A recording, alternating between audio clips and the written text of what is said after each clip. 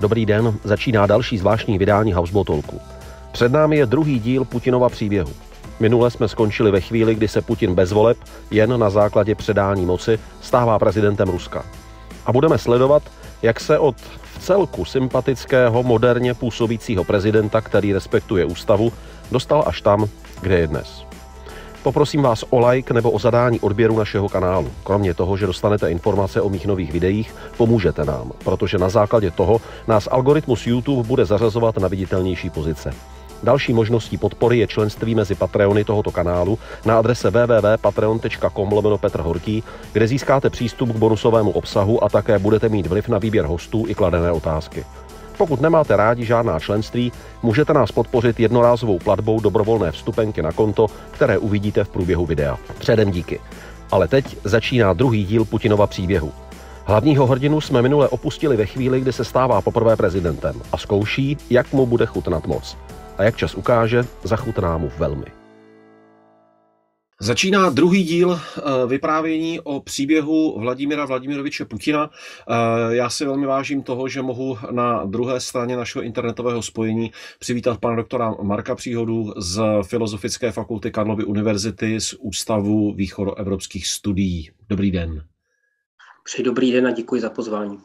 Eh, minulý týden v minulém díle jsme se dotkli toho, eh, jak vypadal příběh eh, Vladimíra Putina, než se dostal do prezidentského úřadu. A teď tedy začíná jeho úplně odlišná životní kapitola. Jsme eh, na přelomu 90. let a nástupu nového tisíciletí a takový ten sympaticky vyhlížející, pokorný chlapík z tajných služeb, ale takový ten moderní typ, přebírá Sovětský svaz, nebo přebírá Rusko a s tím i dědictví Sovětského svazu.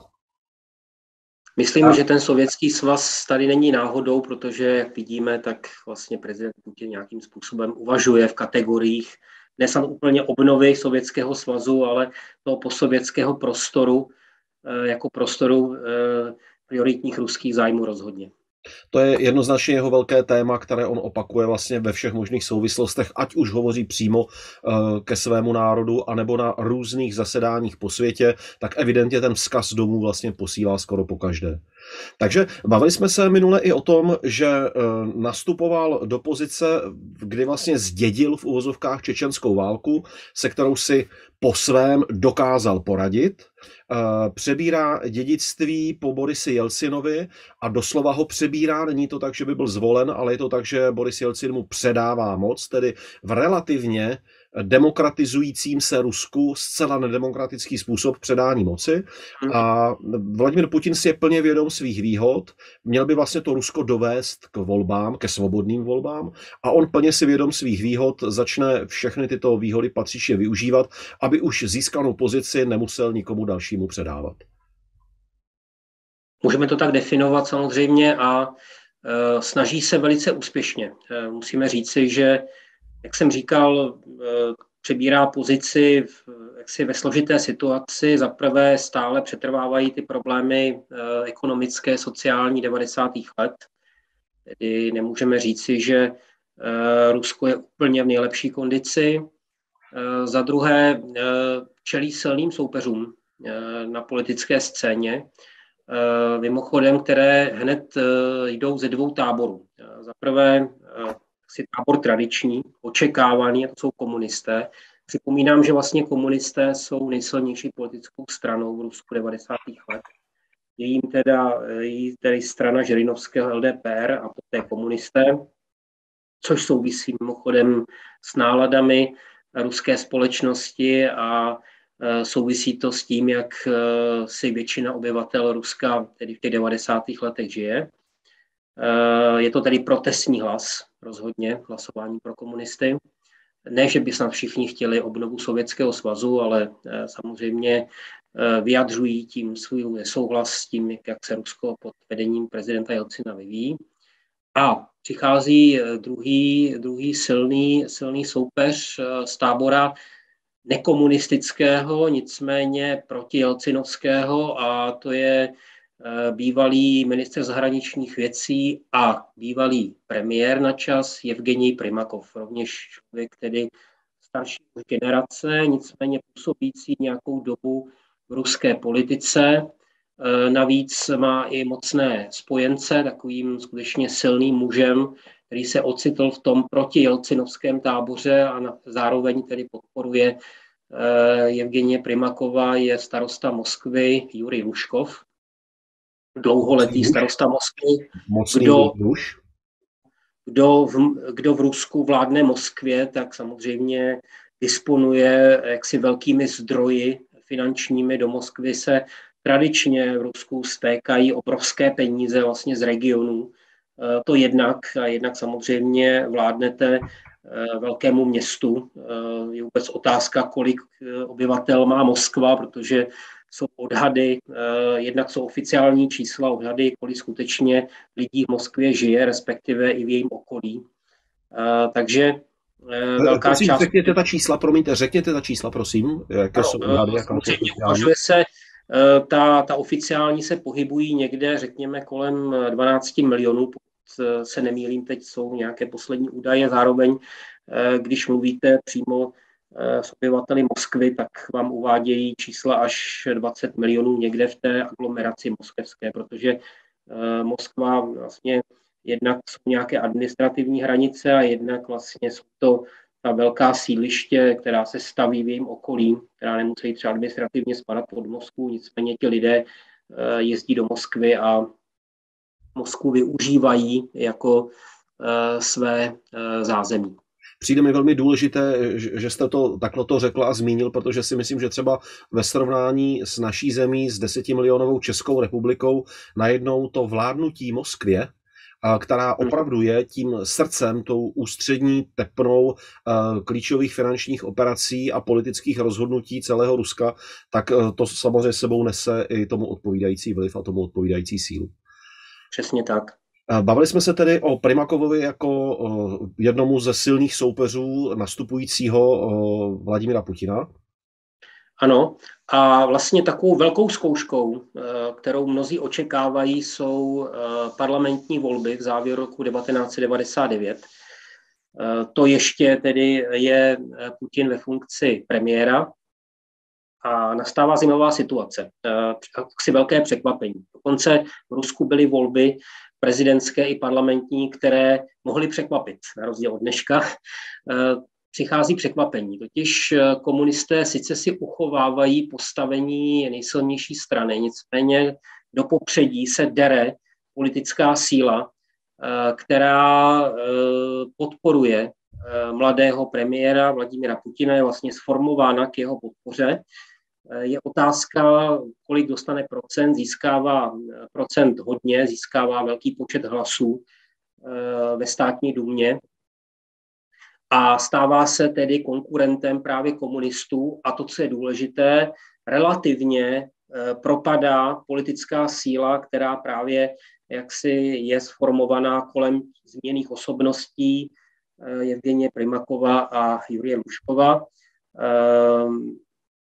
Eh, vlast celé Rusko, eh, zatímco ta formace eh, podporující premiéra Putina, jak se ruština libuje v takových těch zkratkových slovech, která něco znamenají, zároveň je to zkratka, tak se jí říká medvěď. Je to tedy zkratka z, z, jako z komplikovanějšího názvu, nicméně právě tahle politická síla uspěla, což mimochodem dává jistá optimistická očekávání potom i pro ty eh, další prezidentské volby. Tam je i úžasné, eh, když člověk úplně odhlédne od jako konkrétní reality, tak vlastně jak ten medvěd ve smyslu ruského medvěda, který jako obrovský symbol platí do dneška, že ruský medvěd se ubrání světu. Pamatuji, to bude snad sedm let, kdy jsem byl v Moskvě a viděl jsem na titulních stranách novin kreslené karikatury, které zobrazovaly útočící okolní svět na Rusko a v těch hmm. kresbičkách za ruskými hradbami stál mohutný obrovský ruský medvěd, který vyhazoval a odháněl ty útočící postavičky a všichni ve strachu a panice před ním prchali pryč. A vlastně i pak jméno uh, premiéra a prezidenta, se kterým se Putin ve své bizarní střídající hře hmm. střídal, Medvěděv, vlastně dále hraje tady tu podivnou, náhodnou, uh, metaforickou hru uh, dějin a podobenství. Ale k tomu se samozřejmě dostaneme, to jsem teď předběhl. Ale není to jeho příjmení, tomu se ještě dostaneme, má to své samozřejmě opět kořeny hlubší právě v té Putinově biografii, ale samozřejmě tak ten obraz Ruska jako medvěda je dvojsečný, protože když se podíváme třeba do minulosti, tak v těch evropských dřívějších karikaturách ještě v době carského Ruska, tak právě Rusko bylo zobrazováno jako medvěd, jo, takový někdy zobrazovaný nemoc, nemoc tedy sympaticky. Nicméně pochopitelně, jak se je to především v tomto případě, to není karikatura, je to symbol síly, jednoty Ruska a tak dále. Eh, jsme tedy na začátku nového tisíciletí, eh, probíhají volby a Putin eh, nevede takovou tu úplně klasickou kampaň, která by objížděla celou zemi a přesvědčovala v podstatě jednoho po druhém. Rozhodně ne. On pochopitelně spoléhá především na média, v kterých se objevuje. Objevuje se v situacích člověka, který rázně, energicky Eh, řeší eh, problémy a jeho popularita, to tom svědčí průzkumy veřejného mínění, roste. Nicméně přece jenom je tady nějaká krátká doba, takže ty prezidentské volby, eh, které se potom odehrály v březnu roku 2000, tak krátce po těch parlamentních, tak mimochodem ta očekávání předvolební jsou taková, že Putin je jednoznačně favorit. To znamená, jemu se podařilo tedy se dostat do té funkce favorita pozice. Navíc vlastně v těch hlavních kandidátech se neobjevuje už Primakov. Hlavním soupeřem se stává Gennady Zyuganov, veterán ruské politiky, dlouholetý šéf komunistické strany Ruské federace a účastník prezidentských voleb, který prohrává. Tam je otázka, zda Putin eh, zvítězí v první nebo v druhém kole. Eh, ukazuje se, ukáže se po prvním kole, že druhé kolo není potřeba. Prezident Putin získává eh, nadpoloviční počet hlasů už v tom prvním kole. Já si tady dovolím uh, jednu otázku nebo jednu poznámku. Přijde mi, že Západ se někdy velmi šeredně plete v přístupu k Rusku nebo k vytváření úvah o Rusku, protože prostě roubuje západní pravidla na ten ruský svět, který v mnoha ohledech je dosti odlišný. A připadá mi, že možná takový malý odlesk tohoto případného omylu se odráží i v tom uh, vedení té úspěšné kampaně. Zatímco na západě politik je vlastně vždy směřován svými poradci k tomu, aby byl lidový, aby byl k lidem blízko, aby se ho lidé nebáli a chtěli ho vlastně zažít, potkat, pustit ho do své jako soukromé sféry, tak v tom ruském světě naopak nedostupnost prezidenta, nedostupnost vládce, jen skrz média, jen skrz razantní rozhodnutí a velké vlivy, kterými mění náš život, tak skrz toto mhm. získává sílu a úctu mnoho, mnoha svých voličů. Já bych možná v rámci odpovědi na to, co říkáte, eh, pro naše diváky rozhodně doporučil eh, jeden dokumentární film, eh, který se toho týká, který má i české titulky a byl promítán u nás v České republice. Je to film režiséra Vitalie Manského, který se jmenuje Světkové Putinovi. Rozhodně hmm. doporučuji. Je to Eh, naprosto unikátní z hlediska historie věc, totiž Vitalij Manský byl připuštěn přímo tedy do nejbližšího okolí prezidenta Putina v době, kdy připravuje tu volební kampaň a kdy tedy on vítězí. Je to orámováno, ten dokument je orámován právě tou událostí předání moci od Borise Jelcina a eh, poté míříme už k té hlavní události toho dokumentu, to jsou ty prezidentské volby.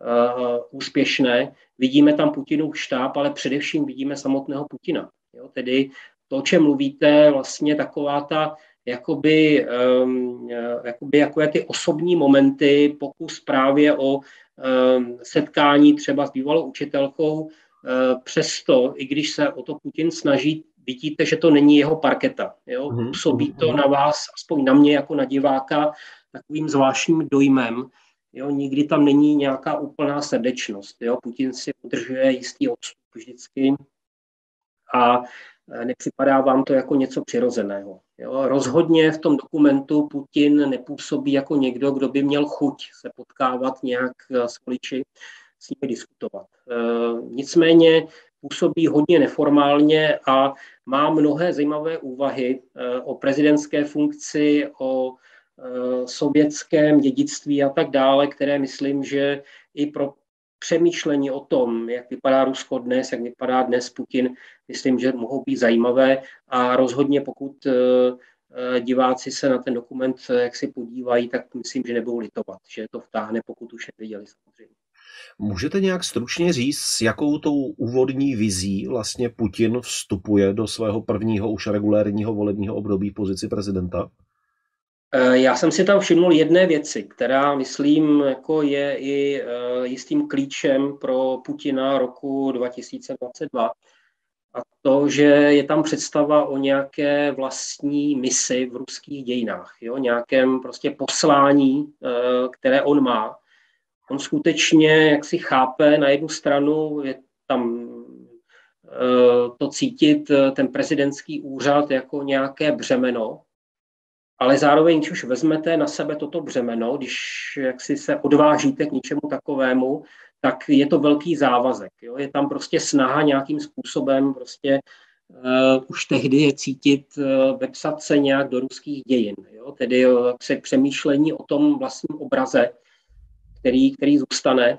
Samozřejmě Putin raný neuvažuje o tom, že by zůstával uh, úřadu tak dlouho. Uh, nicméně tahle, tenhle ten motiv je tam cítit. Uh, ať už tedy přímo nebo nepřímo.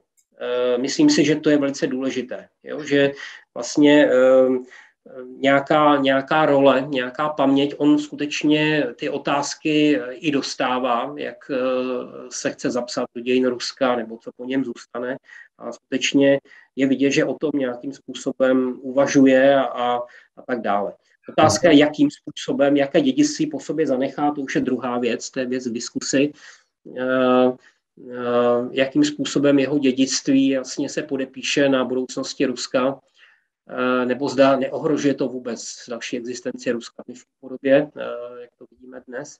Nicméně tohle asi v něm nějakým způsobem je. A druhá věc, která tam je zajímavá, je otázka sovětských, jaksi sovětských symbolů a sovětského dědictví. Ku podivu, ku podivu hodně, hodně často tedy je zmiňovaná a velký prostor je jí věnován. Nevím, jak často, ale rozhodně velký prostor ano. ano. Chtěl jsem se zeptat ještě k tomu prvnímu, co jste zmiňoval, k tomu uh, jakoby dějinému úkolu. Uh, lze to chápat i tak, že vnímá, jakoby, že prozřetelnost jej vybrala, aby se ocitl v pozici, v jaké je, že tedy nějak jakoby absolutizuje to sebevnímání a své pozice? To tam přímo není, uh, jakoby mm-hmm. slova o prozřetelnosti, osudu a tak dále, ale Myslím si, že tyhle ty představy, pokud to nebylo na počátku, tak eh, se do těch představ tady ten prvek dostává jeho. Eh, takže jistě je to na místě o tom uvažovat. Do hlavy hm, prezidentu Putinovi nevidíme, navíc jak se ukazuje, tak eh, lidé, kteří uplatňovali nějakou logiku, tak dnes uznávají svůj omyl a tak dále. Nicméně tehle ten, tehle ten prvek, kdybych já měl interpretovat osobnost Vladimira Putina nějakým způsobem a pokusit se eh, vysvětlit některé jeho kroky, eh, tak eh, tady, tady bych viděl to hledání nějaké, nějaké mise. Tedy uh-huh. opravdu tu, ten svůj program, který se snaží naplňovat, on sdělil ve svém programním textu, který je zveřejněn souběžně s tím předáním moci, kde se jasně říká o tom, že jak si Rusko chce pozvednout eh, ekonomicky, sociálně, eh, boj s chudobou a zároveň eh, upevnění, upevnění vlastně nějaké mocenské vertikály. A dochází k tomu, když to nahlédnu teď v delších časových horizontech, než jsou pouze ta omezená volební období, řekněme v prvních deseti letech jeho moci, tak dochází k tomu, že na jednu stranu on upevňuje tu mocenskou pozici právě díky tomu pozorhodnému střídání s Medvěděvem a na druhou stranu daří se mu. Rusku hmm. pod vedením Putina minimálně v prvních letech se skutečně daří dobře. To jistě, já bych ano, že jdeme vlastně, kdybychom sledovali ty dvě základní linie, to znamená jaksi překonání nějaké sociálně ekonomické mizérie a zároveň konsolidaci vnitřní Ruska, upevnění, upevnění té mocenské vertikály, to je jaksi oblíbený, oblíbený termín, tak eh, obojí od počátku vlastně Putin se snaží naplnit. A budíš řečeno, eh, že velice úspěšně.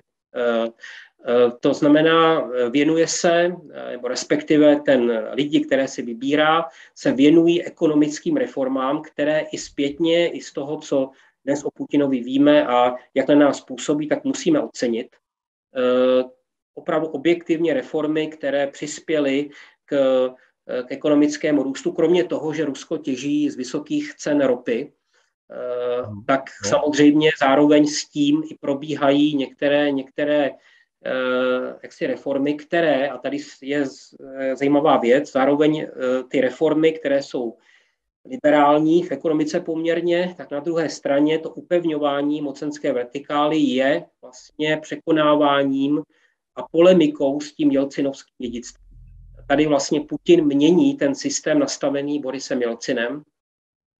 Mění ho tak, že v tom mocenském systému pochopitelně Eh, upevňuje autoritu a vliv prezidenta. Eh, je to, je to od počátku, eh, děje se tak dvojím způsobem, především, a to na jedné straně to, co Putin zdědil, je ten systém oligarchického kapitalismu, jak je někdy označováno to Rusko druhé poloviny 90. let. Že to není klasický kapitalismus toho západoevropského střihu, ale je to tedy oligarchický nějaký model kapitalismu, tak vlastně hned na počátku je historická schůzka Vladimíra Putina s představiteli velkého biznesu, eh, kde Vladimír Putin na této schůzce dává jednoznačně zúčastnění najevo, to, že za prvé eh, není člověk, který plánuje revizi privatizace 90. let, nehledě na to, jak probíhala, zároveň, že respektovat ty majetkové poměry, zároveň nebude preferovat nikoho, eh, eh, státní moc nebude preferovat nikoho v, v, té, v té ekonomice a za druhé eh, tedy to, že nestrpí, aby ti představitelé velkého biznisu zasahovali do politiky.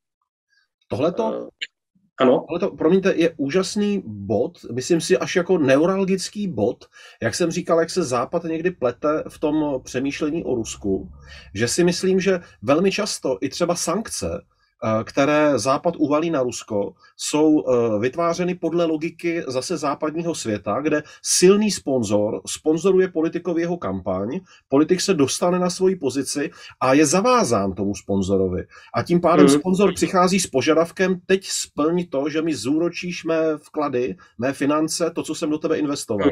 A tím pádem mm. Západ chce poškodit domělého sponzora. To může fungovat na západě. Ale jestliže v Rusku ta situace je opačná, že prezident hmm. kontroluje životy a majetky všech, včetně těch oligarchů, tak hmm. vlastně to není o tom, že by oligarchové přišli a volali by Putina k zodpovědnosti. Ne, ne, ne. Hmm. To je přesně hmm. naopak. Já bych řekl, že možná bych souhlasím samozřejmě s tou základní tezí, ale zároveň bych možná tady upřesnil jednu věc důležitou, která by tady měla zaznít, byť se týká těch událostí možná potom toho pozdního Putinova období, kdy právě on si vytváří tu novou ekonomickou elitu, Totiž eh, já myslím, že Západ tomu velice dobře rozumí. Jo, tady tomu, mm. tady té situaci ruské, já bych nepodceňoval opravdu jaksi Západ. Eh, to, že ty sankce nemířily proti Vladimíru Putinovi, bylo dáno ne tím, že by si Západ neuvědomoval, že tam je potřeba mířit, ale bylo to tím, že nechtěl. Chtěl zároveň dát Putinovi najevo, tedy ho nějakým způsobem potrestat, ale zároveň úplně nezahánět do kouta. Jo, mhm. viděli jsme třeba teď, když uh, vidíme už uh, osobní, osobní sankce vůči ruské elitě, to je obrovský zlom. Jo, Aha. tomu se vlastně Západ dlouho bránil a myslím, že i na to hrál vlastně uh, prezident Putin. Nicméně ta vazba mezi těmi dnešními oligarchy je také zvláštní. Vlastně je část té elity, která je označována, myslím, jak si je to trefný, trefný pojem Putinovy peněženky. Jo, kdy mhm. tedy na jedné straně Vladimír Putin, co by teď nesporný vládce Ruska, vlastně umožňuje těžit z těch státních zakázek, jo, dává nějaké segmenty ekonomiky ruské těmto lidem, zároveň si je zavazuje a očekává pochopitelně od nich eh, finanční podporu pro případ tedy eh, jaksi potřeby. Jo. Tedy mluví se o nějakých e, Putinových peněženkách, které jsou k dispozici a zároveň ty sankce po Krymu a ty hlavní sankce byly právě v souvislosti e, s anexí Krymu v roce 2014, tak míří vůči těmto lidem. Mm-hmm, a vůbec mm-hmm. i předtím Západ, když se podíváme třeba na nějaké sankce předtím a byly takové kontroverzní vlastně věci, tak eh, Západ se vyhýbal dokonce i té jaksi nejvyšší elitě. Teď vidíme zásadní, to, co teď pozorujeme, je opravdu mimo jiné zásadní zlom v tomto přístupu Západu. Ty události, co vidíme na Ukrajině, jsou natolik fatální, že vlastně Západ eh, eh, tuhle tu politiku revidoval a ty osobní sankce míří přímo na prezidenta Putina, což opravdu v dějinách sankcí západních není tak časté, že by mířili přímo na vrcholné státníky. No, takže vždycky byla tam snaha zachovat nějakou cestu vlastně k jednání, nezahánět prezidenta Putina úplně do kouta, dávat najevo samozřejmě svoji nespokojenost, zároveň netrestat přímo prezidenta Putina. Um, teď to vidíme, že se to mění. Já vám mnohokrát děkuji, že jste akceptoval tady tu moji odbočku. A teď vás tedy vrátím zpět do toho velkého jednání s oligarchy, kde tedy Putin říká, nebudu revidovat proces privatizace, nebudu trpět nikoho, kdo by se mi pletl eh, do mého šálku kávy. Ano, a mluví, jenom chci říct si, teď mluví vlastně k lidem, kteří jsou dědictvím Jelcinovy epochy, jo, jsou považováni za, za ty lidi, které vytvořila ta Jelcinova epocha. Eh, a Eh, je potřeba říci, že část eh, těch zúčastněných pochopila velice dobře. Nicméně, a to jsou zajímavé příběhy, potom někdy hodně dramatické, eh, část oligarchů tedy ne, že nepochopila, oni ta, oni ta slova prezidenta Putina pochopili, nicméně jak si dál chtějí pokračovat v modelu 90. let, tedy uchovávat si nejenom eh, své bohatství, svou ekonomickou nespornou moc, ale uchovávat si i mediální a zároveň tedy tu mediální právě proto, aby mohli nějakým způsobem ovlivňovat ruskou politiku. Eh, takže eh, na to doplácejí. Takže vlastně první, ten, ta první linie, kdy prezident Putin jak si upevňuje svoji autoritu, je tato. To znamená, on se zbavuje zbavuje velice razantně, nekompromisně eh, těch mocných představitelů eh, ruské ekonomiky, kteří jsou pro ně hrozbou potenciální. Eh, jsou to zásadně vlastně tři příběhy, z nich ten poslední je nejzajímavější, myslím, a má dohru dodnes. Je to tedy za prvé Vladimír Gusinsky a Boris Berezovský, což jsou takové vlastně symboly těch právě té oligarchie 90. let. Eh, platí pro ně to, co jsem říkal, spojení těch různých eh, vlivů a mocí. Eh, vlastně jeden, jeden je, nebo jsou tedy jaksi zbaveni svého vlivu různým způsobem. Dokonce Boris Berezovský tedy spáchá sebevraždu, kde jsou opět otazníky, za to byla sebevražda. A ten příběh třetí, který jsem sliboval a který je, myslím, nejzajímavější, eh, je Michal Chodorkovský. Eh, eh, připomínám, v té době zakládá svůj biznis na vlastnictví ropné společnosti Dukos, což je ropný gigant. Díky vlastnictví této společnosti Michal Chodorkovský je nejbohatším mužem Ruska. Jeden z nejbohatších mužů díky svému majetku vůbec na světě. Tento muž přímo tedy vyzývá, můžeme říct si, Vladimira Putina na souboj, protože jasně dává najevo, že poměry ho neuspokojují eh, a eh, že vloží svůj vliv, svůj kapitál do služeb opozice. To je něco, co prezident Putin rozhodně nechce trpět. Podorkovský, Já to Můžeme, si, můžeme se vrátit teda, se to můžete potom jsme u osobnosti Michala Chodorkovského, který dává jasně najevo, že se takže, takže, Ano, ano. Takže Michal Chodorkovský uh, uh, jak si uh, vyzývá dokonce Vladimira Putina uh, na, na souboj, říká, že vlastně vloží svůj vliv a svůj majetek do služeb opozice. Že podpoří opozici, dokonce uh, jsou s ním spojovány přímo politické ambice prezidentské, to samozřejmě Vladimír Putin nechce rozhodně trpět. Uh, Michal Korokovský je začen. U nás je proces, který uh, může být pro nás zajímavý s ohledem na dnešní Rusko, protože vlastně ten jeho trest v dalším procesu je prodloužen. A Michal Chodorkovský je tedy začen v roce 2003 a z vězení vychází vlastně až v roce 2013. Proč 2013 je omilostně mimochodem eh, Vladimírem Putinem, je to vlastně předvečer olympiády zimní. Eh, mhm. Nechce, aby Vladimír Putin, který opravdu chce, aby ta olympiáda dopadla dobře, aby začal úspěchem a aby se zlepšil tedy obraz jeho směrem do zahraničí, tak eh, myslím, že se chce zbavit jednoho z problémů. Michal Chodorkovský odchází do zahraničí, nicméně úplně nemizí propadliště dějin, protože sice se nevěnuje aktivní politice v Rusku, nicméně eh, jak si se věnuje eh, mimo jiné eh, svému fondu Otevřené Rusko, který má přímo za cíl podporovat nějaké aktivity přímo v Rusku. Jako dnes jeho činnost už jaksi je znemožněná, nicméně byl to zajímavý pokus, jak vlastně ze zahraničí nějakým způsobem ovlivnit ruskou společnost a ruskou politiku. Eh, eh, mimochodem, Michal Chodorkovský skutečně pro část ruské opozice, možná k tomu tématu ruské opozice liberální se dostaneme, tak je jedním ze symbolů. Jo, I když mhm. vlastně nemá, nežije v Rusku, nemá kolem sebe politickou stranu, tak je uctívanou, uznávanou osobností, alespoň u části té opozice, protože liberální opozice, jak už tak Rusku bývá, je rozdělená.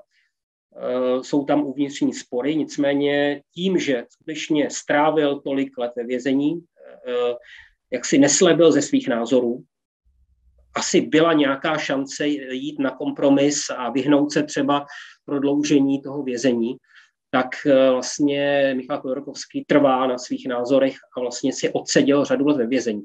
Když jsem na počátku říkal, že je to zajímavý příběh pro dnešní Rusko, tak eh, eh, je zajímavý z hlediska tedy dnešního příběhu, dnešního vězně Putinova Alexeje Navalného, který sice tedy byl odsouzen na nějaký kratší několikaletý trest do vězení, nicméně teď eh, je jasné, stejně jako s Chodorkovským, že do, si po dobu, co Vladimír Putin bude prezidentem, tak z vězení nevyjde, protože proti němu opět míří další tedy trestní kauzy a je evidentní, že eh, tohoto hlavního oponenta z poslední doby rozhodně Vladimír Putin z vězení pouštět nechce. Přijde mi uh, pozoruhodné, uh, že když se člověk dívá na tu, jedno, na tu linii toho vývoje Vladimíra Putina, jeho kariérního vývoje, tak to na mě nepůsobí tak, že by hned na začátku měl jasně daný cíl, ke kterému vše podřídí a ke kterému směřuje. Spíš to na mě působí jako opravdu brilantní šachový hráč, který vždy dokáže zhodnotit, jakou má pozici na šachovnici, jaké figury má k dispozici a zkrátka hraje to nejlepší, co v daných souvislostech může. A daří se mu, postupně eh, zlepšuje svoji pozici a pokud bych měl použít dál tu metaforu s tou šachovou hrou, tak jakoby přibývá mu silných figur a on si pak tedy postupně troufá na vyšší a vyšší a dramatičtější a dramatičtější hru. On vlastně tím, že dokázal zúčtovat s nejbohatším mužem Ruska, dal najevo hned několik prvků. Jeden z nich byl ten, že opravdu nevidí, že by měl nějakého soupeře, jednoznačně vnímá sám sebe jako muže, ke kterému prostě patří ta největší moc, děj se, co děj. A druhá věc posílá zcela zřetelný vzkaz úplně všem, že skutečně jakýkoliv osud kohokoliv pro něj nehraje vůbec žádnou roli. Hmm. E, to jistě, zároveň tím prvním procesem, ten druhý proces proti Chodorkovskému už vyvolává pochybnosti a také se koná už v jiné atmosféře. Vlastně to tažení proti oligarchům vlastně si dovolím tvrdit, že mělo podporu velké části společnosti, která e, zatím neviděla tu Putinovu hru ale viděla zatím jaksi potrestání lidí, kteří se podíleli na rozkrádání Ruska. Jo? No. Tedy, takže tam se liší potom ten pozdní Putin od toho raného nebo pozdější Putin. Jednoznačně je to děláno i s těmi očekáváními té společnosti, s vyrovnáváním se s, s tím dědictvím 90. let. Mimochodem to je jeden vlastně z těch sloupů, na kterém stojí ten obraz dnešní prezidenta Putina. Jo, I když právě jsme eh, v minulém díle mluvili docela podrobně a bylo to zcela na místě o té jeho kariéře v rámci 90. let, což je vlastně důležité říci, že Putin sice na jedné straně se vymezuje vůči 90. letům, eh, snaží tedy se aspoň slovně tedy překonávat to, eh, to kritické dědictví, zároveň tedy je člověk, který se v těch 90. letech sformoval. Jo? Že to není člověk, který najednou se od někud vzal právě eh, tedy z vůle nějaké prozřetelnosti odnikud, ale že má za sebou, za sebou poměrně zajímavou eh, biografii předtím, i politickou, to je potřeba říci. Protože opravdu pro, pro některé Rusy, kteří samozřejmě už si tady ty detaily nepamatují a tak dále, tak eh, opravdu se zdá, že někdy se může zdát, že až osud tedy najednou od nikud se vzal eh, Vladimír Putin jako spasitel Ruska, obnovitel jeho síly a tak dále. Takhle to může na někoho působit, no tak není. Já bych vás poprosil, já jsem nesmírně zvědav a pořád mi to roky vrtá hlavou, jak vlastně vytvořil to mocenské střídání s Medvěděvem a mm-hmm. jak mhm. se mu to dařilo udržet při životě. To je takový jako sportovní prvek, který tam vnesl takový mm-hmm. jako basketbalový prvek, to připadá, nebo hokejový prvek, a, a že, že, že byl funkční, to je přece úžasné. Mm-hmm. Vlastně s tím hned odpovím, jenom abych ještě splnil tedy svůj slib, jsem říkal, že vlastně ten Vladimir Putin jednak tedy eh, ta linie upevňování své autority, eh, kontrola nad ekonomikou, mm-hmm. ale zároveň upevňování té mocenské vertikály, totiž eh, některé, některé zásahy do toho politického systému, které jednoznačně eliminují některé demokratické prvky. Například v těch raných letech eh, eh, právě jak si v rámci boje s terorismem je to zvláštní spojení, tedy, že takto se mhm. bojuje s terorismem. Je to tedy po tedy událostech spojených s Beslanem, což vlastně si diváci si velice výrazná událost z roku 2004, kdy vlastně teroristé obsadili eh, školu eh, ve městě Beslan, což je eh, severní Osetie a dopadlo to tragicky. Vlastně byl útok speciálních jednotek a řada obětí i mezi těmi dětmi. A Vladimír Putin poté slibuje tedy upevnění už zcela jednoznačně mocenské vertikály. Je to zvláštní, že vlastně jak si bojujeme s terorismem těm, těmto způsobem. Zdá se, že Vladimír Putin využil nějaké atmosféry šoku ve společnosti, který byl k tomu, aby eh, jak si naplnil svůj dřívější cíl, který konec konců byl od počátku. A vlastně například, eh, teď eh, bych měl uvést jednu zásadní věc, jsou vlastně zrušeny volby hlav ruských regionů. To byl takový silný demokratický prvek v těch 90. letech, protože se vlastně ty, Rusko je rozděleno na řadu regionů a v 90. letech ti eh, představitelé těch regionů eh, se volili ve volbách. Bylo to drama, nebo to jednoznačné, byly různé politické síly zastoupeny, na rozdíl od dneška, tak respektive dnes dominuje jedna. Jsou zastoupeny různé, ale jednotné Rusko má převahu většinu, kontroluje ty regiony. Tehdy to tak nebylo. Eh, prezident Putin tyhle volby ruší. A má přímo vliv na, nechává si tedy rozhoduj, rozhodující právo eh, jmenovat tyhle, ty, tyhle ty hlavy regionu, čímž mimochodem to má jeden dopad pro ruský politický systém, další totiž tím tím způsobem on získává už přímou kontrolu nad horní sněmovnou, eh, nad radou federace. Takže tyhle ty kroky, které vedou k jeho, k jeho eh, upevňování, tedy jeho postavení v rámci politického systému, a přichází, eh, přicházejí další volby, kde už není, nikdo nepochybuje, že prezident Putin, Putin zvítězí. Nicméně problém, který nastává, je ten, že v, jaksi v ruské ústavě, která byla přijata referendem v roce 1993, Eh, je právě to pravidlo o dvou mandátech. Eh, za sebou. Upozorněji, to slovo za sebou potom se hraje důležitou roli v celém příběhu. Jo. No, no. To znamená, uh, už se neříká, zda tedy se ty mandáty po nějaké přestávce nemohou obnovit. Uh, nicméně sám prezident Putin, tady jenom bych rád odbočil a řekl jednu zajímavou věc vzhledem k dnešku, uh, vlastně sám vlastně vyjadřuje zpočátku myšlenku, že nechce být v prezidentské funkci dlouho. Opět to souvisí s tím jeho pohled na prezidentskou funkci jako na nějaké břímě, které jak si dopadne na člověka. Je mimochodem jeho nesmírně zajímavý výrok, který je citován zvláště tedy v dnešním kontextu o tom, že eh, pokud člověk, který naplno vykonává tu funkci, tak eh, sedm let stačí k tomu, aby se člověk zbláznil. Eh, mimochodem, mimochodem, jak čí současného Vladimira Putina buď vykonával svoji funkci naplno, což on by rozhodně nesouhlasil, protože sám se nazval tedy uh, otrokem na galéře, takže uh, platí v tom případě tedy jaksi druhá možnost, čili prezident, prezident Putin si sám sobě dal diagnózu. No, nicméně, abychom tedy... A ty vážné práci. Vážnějším věcem, ano. Uh, takže, uh, čili jak se nejprve se zdá, že vůbec jak si to nemusí řešit, protože prezident Putin vlastně se tváří, že, že, že je to břímě, kterého by se rád po nějaké době zbavil. Nicméně, eh, jak si moc eh, a čas, eh, čas plyne a moc evidentně prezidentu Putinovi zachutnala, zvlášť ta moc, kterou má teď v ruce, která se stále zvětšuje. A je otázka tedy. Otázka roku 2008, kdyby tedy měly být ty prezidentské volby a Eh, co s tím? Eh, pochopitelně tehdy prezident Putin má takovou autoritu, že jedna z možností, o které se samozřejmě uvažuje, že se do ústavy zasáhne.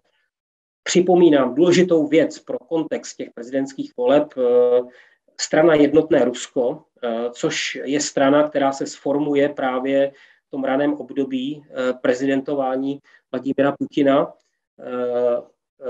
tak, a která je stranou, tedy, která ho podporuje, tak už dominuje v parlamentu natolik, že má ústavní většinu. To je no. velký zlom. Jo? To znamená, e, předtím pouze většina, v úzovkách pouze většina, na to nejsme také v Evropě zvyklí, že mm-hmm. moc, že jedna strana jak si dominuje v parlamentu. Většinou očekáváme, že se strany musí dohadovat, jednotné Rusko se dohadovat e, nemusí, nicméně od roku 2007 se nemusí dohadovat ani o ústavě, má ústavní většinu. Eh, čili v pohodě by mohl, mohlo jednotné Rusko a konec konců autorita prezidenta Putina je taková, že je mu to nabízeno, očekává se to, nicméně, to je zajímavé, prezident Putin zde vystupuje, se ozvalo jeho právnické vzdělání a tedy je proti účkovému zásahu do ústavy.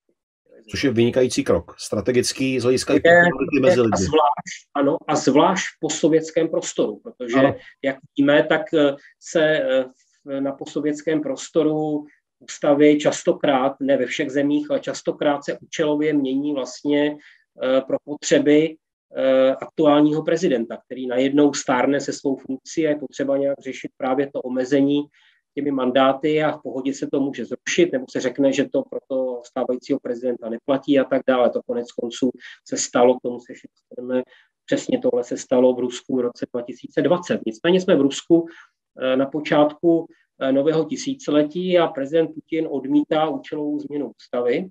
Co s tím tedy? Eh, čili eh, je potřeba někoho dosadit do toho prezidentského úřadu s tím, že samozřejmě prezident Putin si ponechá jako osoba páky vlivu. Udělá se to tak, že je vybrán člověk, který, kterému má Vladimír Putin blízko. Právě on důvěřuje těm lidem právě z toho svého raného období, tím myslím tedy jednak eh, služba v KGB a jednak eh, své působení eh, na radnici v Sankt Petěrburgu. A právě zde, na radnici v Sankt Petěrburgu, se seznamuje, potkává se s dalším člověkem, který je spojen právě s Leningradem, Sankt Petěrburgem, a to je Dmitrij Medvěděv. Vlastně ještě, ještě mladší politik než Vladimir Putin, který eh, opravdu prokázal jaksi eh, svoji lojalitu vůči, vůči jaksi prezidentu Putinovi a vůči němuž má eh, prezident Putin důvěru. Uvažuje se o jiných vlastně vlivných lidech v jeho okolí. Volba padá právě na Dmitrij Medvěděva, který dokonale, musíme říct dokonale sehrál až na nějaké drobné výjimky tuhle tu roli. To znamená místo držícího, jak je také potom posměšně nazýván, jo, je to místo držící trůnu. Skutečně on je nominován stranou Jednotné Rusko eh, ve prezidentských volbách eh, v pohodě eh, vítězí, opět žádné překvapení. Opět státní tedy média pracují tedy v jeho, v jeho prospěch a vlastně na čtyři roky se stává, se stává prezidentem Ruska a je dohodnuto předtím, že pokud se stane prezidentem Ruska, tak se stane premiérem Vladimir Putin. Vztah mezi premiérem Putinem a prezidentem Medvedevem je naprosto jiný. Liší se od klasického ruského vztahu mezi prezidentem a premiérem. Rozhodující figurou v politickém systému, což nemá oporu v ústavě, se stává premiér, no. nikoliv prezident. Sám Dmitrij Medveděv vlastně se v něčem nějakých momentech pokouší o samostatnější postup, to je potřeba říci, nicméně zůstává ve vlivu Vladimíra Putina. Eh, projevuje se to například eh, při jednání, kde je slavná scéna, kdy tedy říká, že se musí poradit eh, s Vladimírem Putinem, myšleno v dalším postupu a tak dále. Mimochodem jsou ty krásné momenty, kdy, kdy někdo představuje a splete si ty dva a tak dále. To znamená, jakoby zůstává mimochodem třeba prezident Putin si rád povolává nejvyšší úředníky k sobě na kobereček a se nějak rozmlouvá z pozice tedy jaksi pána Kremlu. Tohle mimochodem, když se podíváte na tu epochu Dmitrie Medvěděva, tak neuvidíte, jo, že by mhm. chodil Vladimír Putin k Medvěděvovi se spovídat, nebo že by ho, že by ho nějakým způsobem Dmitrij Medvěděv ukoloval. Nicméně, a to je potřeba říci, přece jenom tedy eh, jak si eh, funkce prezidenta něco znamená v Rusku eh, a objevují se úvahy, zda tedy prezident Medvěděv obnoví svůj mandát. Má na to absolutní právo, konec konců rozhodující události, které potom nastanou, vedou k velkým protestům v Rusku potom společně s parlamentními volbami v letech 2011-12. Eh, eh, v roce 2012 jsou potom další prezidentské volby, tak eh, vlastně ta naděje, která, která ve společnosti je, že Vladimír Putin se nevrátí, Dmitrij Medvěděv alespoň navenek, alespoň navenek vlastně dává najevo, že stojí o moderní Rusko, eh, eh, má dokonce programový text eh, slavný Rusko vpřed, se hmm. jmenuje. Zajímavý dokument doby, protože když to dneska čtete a kdybyste si umyslel, že to psal Dmitrij Medvěděv a že to vzniklo někdy v této době, tak budete to považovat za takový jaksi protestní pamflet někoho z té nesystémové opozice. Jo? Tedy jo, opravdu on se vyjadřuje velice kriticky k Rusku, k tomu, že Rusko má tu tendenci k tomu zaostávání, to je potřeba překonat. On jaksi se vždycky prezentuje o Putina jako člověk, který jaksi uh, má zájem a rozumí si s těmi moderními technologiemi, no, tak si ho pamatují lidé, jo, to jeho období. No. Takže jsou jisté naděje, že přece jenom by ten politický systém v Rusku mohl se sunout k nějakému uvolnění určitému. Eh, ty, ty naděje jsou právě personifikovány do osoby Dmitrije Medvěděva. Tyhle ty naděje společnosti, které potom povedou k frustraci celé generace v Rusku, jsou spojeny s událostmi sjezdu jednotného Ruska, kde Dmitrij Medvěděv přistupuje na hru znovu, eh, kterou eh, píše a diriguje Vladimír Putin, tedy že jako kandidát oficiální je vyhlášen Vladimir Putin a Vladimir Putin v případě svého zvolení slibuje Dmitrij Medvěděvovi funkci premiéra. To znamená, uskutečnila se taková, taková rošáda mezi nimi mocenská. Eh, to je jedna věc. Druhá věc je, že to mělo dopad potom na, na kriticky myslící část ruské společnosti, protože to znamenalo nějaké zklamané naděje. Jo, ta, ta představa, že vlastně prezident Putin znovu se vrací do úřadu s tím, že eh, jak si tam může zůstat další dvě období. Mimochodem eh, prezidentský mandát byl prodloužen, eh, už je to šest let dnes v Rusku, takže perspektiva dalších 12 let vlastně jako část, část společnosti moc neláká.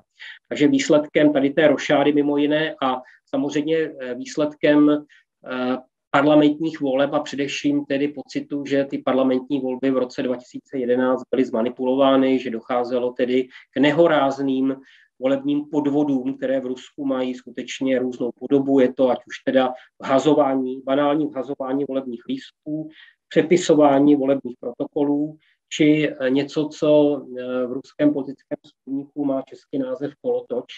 Mm-hmm. To znamená, voliči jsou jsou převáženi na několik volebních místností. Jo. To znamená, tyhle ty eh, asi tradiční mechanismy, jak prostě ovlivnit volby nějak částečně, alespoň jsou používány.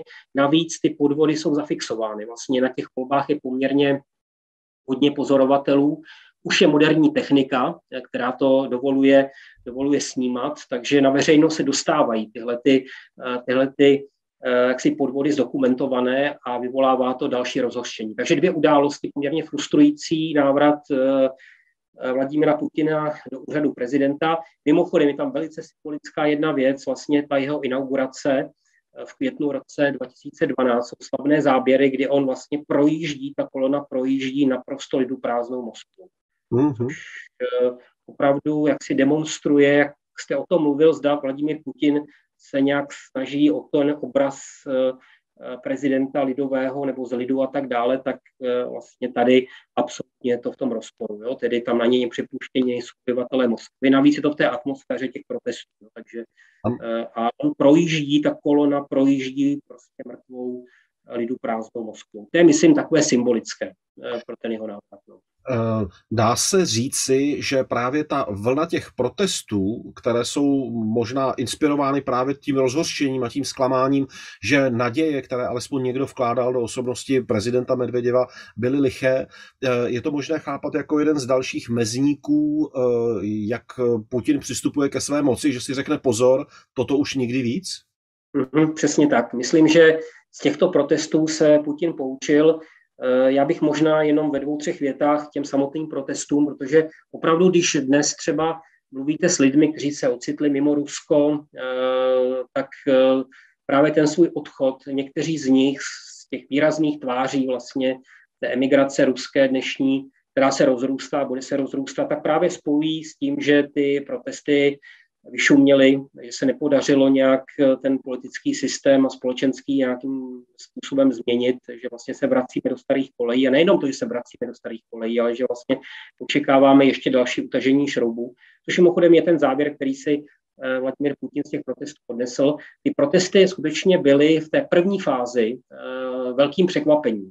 Velkým překvapením jak pro ty, co je organizovali, tak i pro státní moc to překvapení bylo v počtu lidí, kteří přišli. Především tím centrem byla Moskva, eh, vstoupili do dějin podle místa konání, eh, to bylo Bolotné náměstí v mhm. Moskvě a druhé místo je třída Sacharova. Takže vlastně v centru Moskvy se konají velké demonstrace. Můžeme jenom mluvit o těch odhadech. Rozhodně tedy Mluvíme tedy o desítkách tisíc lidí, eh, kteří přišli eh, a protestovali. A je zajímavá reakce. Tehdy ještě mimochodem eh, prezidenta Medvěděva, který dokonce setkává se jednak s představiteli opozice, Jenom otázka, umíme si dnes představit, že po nějaké demonstraci se Vladimír Putin se schází s představiteli opozice, mimo systémové tedy. Uh-huh. Těžko, odpověď víme, protesty dneska nekončí jednáním s, jaksi, s prezidentem, ale končí ve vězení. to, je ten, to je ten horší případ. Nebo tedy nějakými, nějakými jaksi dalšími postihy. Eh, a eh, Zároveň prezident Medvěděv skutečně slibuje uvolnění politického systému. Hmm. Oznamuje, obrací se k národu a oznamuje tedy to, že je potřeba posílit nějaké demokratické prvky, mimo jiné tedy Eh, se otevřela jaksi registrace politických stran, které do té doby byl pouze omezený počet. Politických stran působil sedm pouze. To, že teď máme v Rusku vůbec vícero těch politických stran registrovaných, tak je dáno právě tady tou v uvozovkách liberalizací v době už pozdního prezidenta Medvěděva. Nicméně ty naděje končí návratem Vladimira Putina do Kremlu a Vladimír Putin se poučil z těch protestů a opravdu z toho, z toho překvapení, takže jaksi další protesty tohoto typu a další vystoupení vlastně opozice nehodlá dopustit, takže proti opozici, zvlášť některým představitelům vlastně míří represe. Někteří pod tlakem těchto represí opouštějí Rusko, což mimochodem pro, pro politika ruského e, je vlastně do značné míry politická sebevražda. Mm.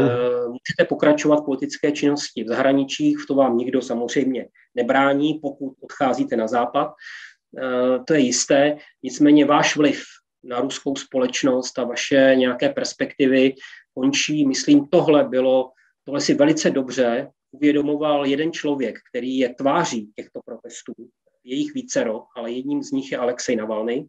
Který se i po tom atentátu, který na něj byl spáchán, eh, po tom pokusu otrávit ho, vrací zpátky do Ruska a bezpečně ví, že ho nečeká žádná zářná budoucnost.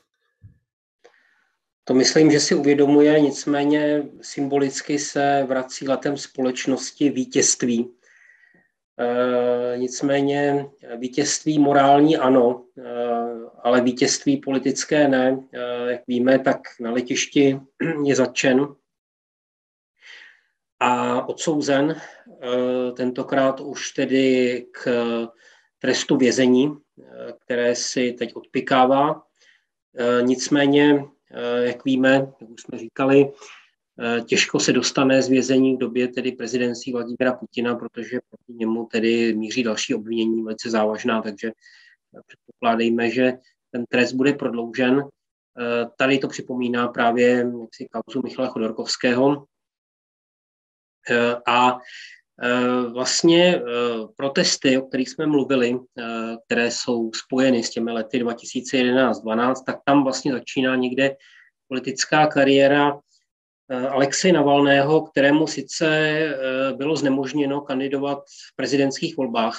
To je konec konců cíl, který on si stanovuje přímo v roce 2013. Nicméně se účastnil voleb, voleb starosty Moskvy, mm-hmm. kde sice nezvítězil, starostou Moskvy se nestal, stal se jim člověk eh, blízký Kremlu Sergej Sabjanin, nicméně uspěl. To bylo velké překvapení, že navzdory vlastně té mediální kampani, navzdory předpokládaným, tedy manipulacím, získal zhruba eh, 27% hlasů, poměrně dost. Dokonce eh, ten zisk byl tak vysoký a dalších kandidátů, že dokonce hrozilo i druhé kolo. Eh, Sergej Sabianin zvítězil sice v prvním kole, ale těsně nad 50%.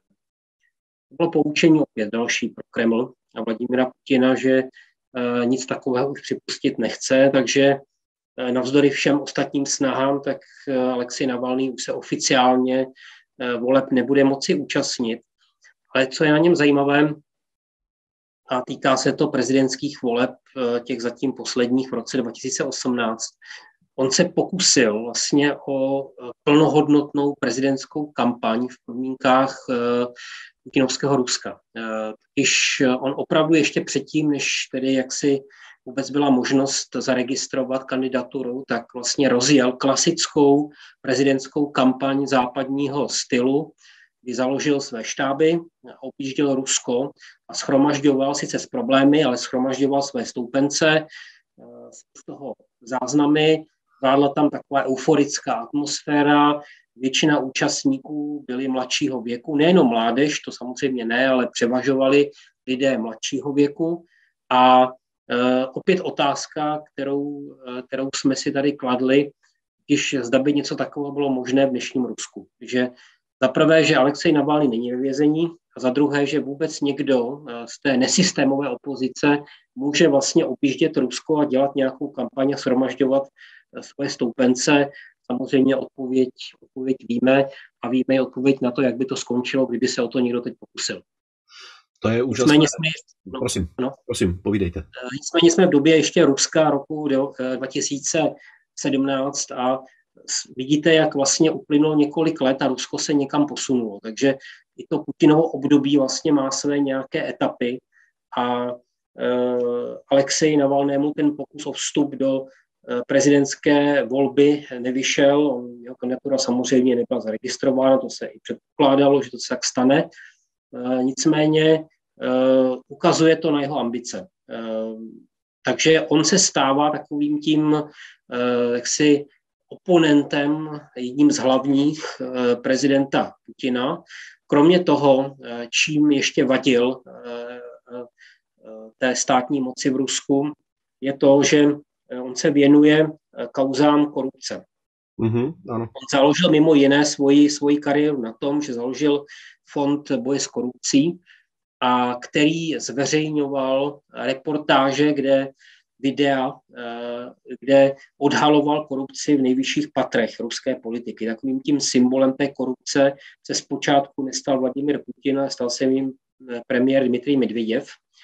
Eh, nicméně po té, co byl Navalny zatčen, tak jeho fond udeřil opravdu s těžkou artilerií a zveřejnil film, který má neuvěřitelný počet zhlédnutí dnes na internetu. Eh, a to je film, který vlastně mluví o paláci, který je stavěn pro prezidenta Putina v Gelenžiku. Eh, palác opravdu tedy velkorysý, eh, ve stylu tedy jaksi vládců, vládců Evropy dřívější doby a kde vlastně se pokouší, kromě toho, že ukazuje na to, že prostě jsou tam vloženy obrovské peníze a že vlastně eh, je to plné nevkusu, ta samotná budova, tak se snaží o nějaký portrét Vladimíra Putina. Takže má to anglické titulky, takže mohu doporučit, stále to je na YouTube, je to možné najít. Uh, historie nej, největšího úplatku se jmenuje ten, ten film mm-hmm. Palác Putina. Takže je to volně teď k dispozici. Kdyby byl zájem, rozhodně doporučuji. Není to úplně tak jednoduché, ono se to zužuje právě jenom na ten samotný palác, nicméně je to širší, on se snaží nějak rozkrýt i eh, podnikatelské okolí eh, prezidenta Putina, různé vazby, které jsou v té kremelské elitě a i o vytvoření nějakého psychologického portrétu Vladimira Putina. Pravda je jedna věc, že vlastně když si vezmu ten začátek eh, toho prezidentování už eh, Vladimíra Putina, kdy si dává záležet na tom, aby tedy neměnil ústavu a aby zřetelně dával najevo, jak dodržuje zákonná pravidla své země a jak respektuje ústavu své země. A když to obrátíme k dnešku, kde ústava již je změněna a naprosto jakákoliv snaha o to vyvolávat snad dojem, že by připustil jakoukoliv diskuzi o své mocenské pozici, to, to je nulové. To absolutně nehrozí, to si člověk nedokáže představit. A a tím pádem opravdu i to putinovské Rusko před 15 lety, před 20 lety a putinovské Rusko dnes, to už jsou opravdu dva zcela odlišné světy.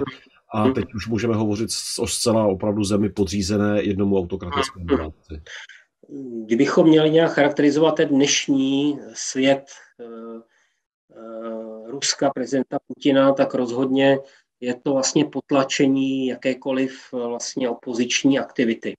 Tedy snaha o potlačení pochopitelně souvisí s tím to, že byly podřízeny nebo znemožněna činnost politických stran, které jaksi nevyhovovaly, které nejsou součástí té takzvané systémové opozice, což je zase ruský termín. Eh, systémová opozice v Rusku znamená to, že v parlamentu není pouze jedna strana, jednotné Rusko je jich víc, nicméně ty strany nepředstavují reálnou opozici, nepředstavují něco, co by představovalo nějakou jinou cestu vývoje Ruska a zvláště zahraniční politice nejenom, že neoponují Vladimíru Putinovi, ale častokrát překládají ještě snad něco horšího. To znamená, prezident Putin vůbec nevypadá v tom, potom eh, z toho nevychází úplně, úplně nejhůř. Takže eh, ta systémová opozice samozřejmě to alternativou není, čili ten tlak na společnost a potlačení jakékoliv eh, činnosti opoziční vede k tomu, že vlastně dneska, kdyby vlastně byla možnost nějakého nějaké reformy systému jednání, tak není vlastně s kým v Rusku jednat, protože není hmm. vlastně alternativa. Eh, existuje pouze, dominuje tomu celému systému právě prezident Vladimir Putin. A samozřejmě perspektiva pro jakoukoliv činnost je, je nulová. Řada lidí z té opozice opustila Rusko. Zůstává pár výjimek, takových opravdu lidí, kteří jsou třeba aktivní, když už to nejde v politice přímo, tak alespoň tedy na internetu, YouTube kanály zajímavé. Jedním z takových těch politiků té mladší generace, opravdu zajímavých, který opravdu teď jaksi kolem sebe združuje jaksi velkou, velkou obec na tom internetu, tak je Ilja Jašin, což je opravdu jaksi mladý politik, který je spojen mimochodem i s těmi protesty, o kterých jsme mluvili a který má ty politické ambice a zároveň zůstal v Rusku. Ale to je spíše výjimka. Po začení Alexe Navalného a poté, co se obrátila státní moc vůči jeho štábům, tak řada jeho spolupracovníků Rusko opustila. Snaží se nějak jaksi působit na ruskou společnost ze zahraničí. Vlastně ten Navalného kanál na internetu existuje, nicméně už bez něj, dělají, dělají to jeho spolupracovníci, nicméně um, možnost nějak reálně, reálně ovlivnit uh, jak si situaci v Rusku už je minimální. Eh, pane doktore, já vám mnohokrát děkuji za možnost eh, absolvovat tenhle ten exkurs do kariéry Vladimíra Putina. Já si jsem moc dobře vědom toho, že teď jsem vlastně přeskočil dost zásadní etapu a to je těch posledních deset let putinovské vlády. Já bych vás rád požádal, jestli se můžeme třeba předběžně domluvit, že kdyby eh, byl zájem o další informace, o konkrétnější informace o kariéře Vladimíra Putina, zda byste si udělal čas případně? Já jsem připravený, záleží na uh, vážených divácích, jestli samozřejmě budou pozitivní ohlasy a uh, bude přání, tak uh, velice rád přijmu pozvání a můžeme natočit uh, video, které se bude týkat toho posledního desetiletí především a můžeme se dotknout tedy i té otázky zahraniční politiky Ruska. Mnohokrát děkuji. Ono tam ještě se nám v těch komentářích začínají pomalu hromadit i některé připomínky a náměty, takže ve mm-hmm. pak případně vysí, zda by bylo možné se vrátit některým otázkám, které se týkají i historie Ukrajiny, o které jsme hovořili mm. úplně na začátku. Uh, a určitě to jsou mnohdy velmi podnětné uh, náměty, mm. které stojí za to, aby zazněly. Bylo to zkrátka mnohdy dáno i tím, že ten formát toho rozhovoru, který se snažíme držet kolem té jedné hodiny, pochopitelně nepojme všechno. Uh, mm. Já bych si teď dovolil asi závěrečnou otázku, a to je jenom takový, jestli to lze, nemyslím si, že to lze asi hodnotit, možná glosovat. Když člověk teď vidí fotografie z audiencí u prezidenta Putina, tak z toho vzniká takový ten dojem toho úplně osamoceného autokrata, který je ale stíhán panickou hrůzou, eh, že ho kdokoliv může zabít, připravit o jeho pozici. Myslíte si, že to jsou spíše interpretované obrázky, anebo že reálně Putin již je v té absolutní diktátorské izolaci oproti veškerému okolnímu světu? Já bych možná byl opatrný s tím pojmem absolutní izolace, přece jenom, ale to, že se ocitá do značné míry mimo realitu, že vlastně to hodnocení to jsme si všimli zcela jasně eh, při hodnocení situace jaksi současné Ukrajině, kdy tedy on se vrátil eh, vlastně k té retorice, kterou měla ruská propaganda někde těsně po druhém Majdanu. Zase se vrátil k tomu, že Ukrajinu ovládají nějací, nějací radikálové, dokonce neonacisté a tak dále, což jako svědčí o tom, že skutečně jak si tu realitu moc nevnímá um, ukrajinskou alespoň, uh, to, že se k němu dostávají jenom určité informace, to myslím uh, svědectvím toho jsou uh, různé třeba jeho veřejná, jsou jeho veřejná vystoupení. Že si neuvědomuje úplně zcela v situaci, v jaké Rusko je, třeba jeden příklad za všechny, který byl tedy hodně, hodně propírán, v jednom z tedy z rozhovorů, když hodnotil nějak sociální situaci v Rusku, tak eh, mluvil o, tře- o střední třídě, eh, jak si v Rusku, a definoval ji tak, že vlastně střední třída v Rusku 1,5 příjmu eh, minimální mzdy, což v Rusku je 17 tisíc dolarů zhruba. Prosím, musíme to dělit zhruba třemi, čtyřmi a dostáváme plat v korunách. To je tedy střední třída v Rusku podle Vladimíra Putina. Jo, na tohle to byly docela bouřlivé ohlasy, což svědčí o tom, jestli si úplně uvědomuje realitu. Jo, tedy.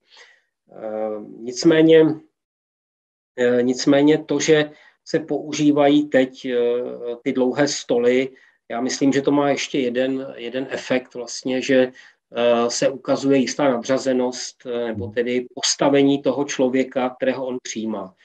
Eh, všimli jsme si to, že dlouhý stůl byl použit při schůzce s francouzským prezidentem, což by mohlo být zdůvodněno tím, že Vladimír Putin se bojí nákazy a tak dále. Nicméně, když se setkával s čínským prezidentem, tak byla, byly srdečné kontakty, tělesné a tak dále. To znamená, jak si je tady vidět ta hierarchie z pohledu Ruska, Eh, představitelů různých zemí. Jo? Tedy, mm-hmm. že možná bylo částečně i jaksi demonstrace nějaké, nějaké jaksi nadřazenosti, může to být tak interpretováno. Ale to, že opravdu jaksi je, je tedy Vladimír Putin dobře chráněn, eh, tom není pochyb. Eh, jeho rozhodně si ho nemůžeme představit, že by někde chodil po ulici, setkával se s lidmi. Vždycky je to tak, že lid je vzdálen, On je tedy ochraňován jaksi velkou, velkou ochrankou. Je to jasné, je tedy eh, v čele velkého státu, nicméně tohle vyvolává jisté právě ty otázky, zda eh, nepropadl nějaké paranoje, nějaké představy tedy o atentátu a tak dále.